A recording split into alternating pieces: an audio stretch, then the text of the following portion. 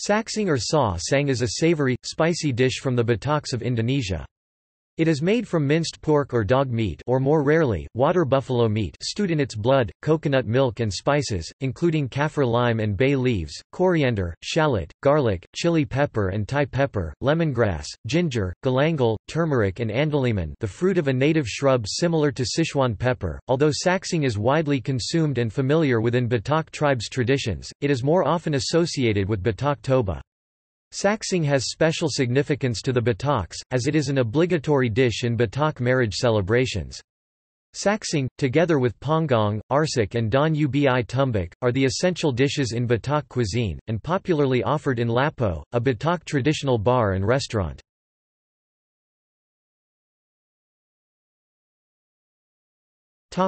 See also Beutelwurst Blood soup Dinuguan List of stews Svartsopa Sarapatel